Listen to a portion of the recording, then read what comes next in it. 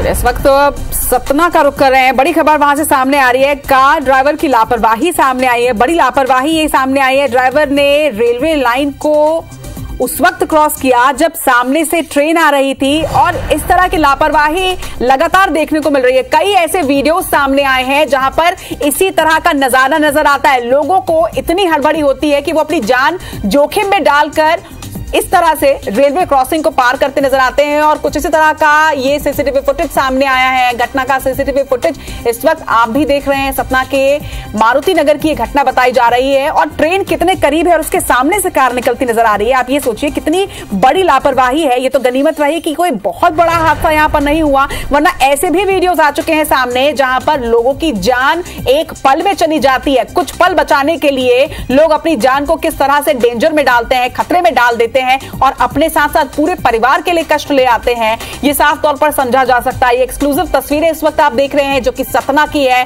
Railway crossing में किस तरह से ये गाड़ी क्रॉस कर रही है, ये आप समझ पा रहे होंगे।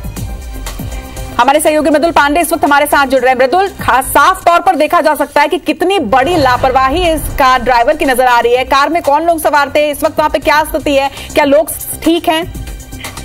देखिए जो इस कार में सवार थे उमेश मिश्रा उनका नाम बताया जा रहा है जो कि बीजेपी नेता के भाई हैं और ये अपने निजी कार के लिए अपने घर से निकले हुए थे।